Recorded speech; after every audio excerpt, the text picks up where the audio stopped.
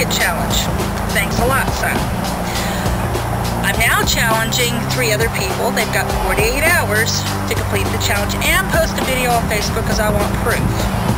I challenge Michael Abrigo, Emily Condon, and my son Patrick Bolin. All right, let's do it. Ah!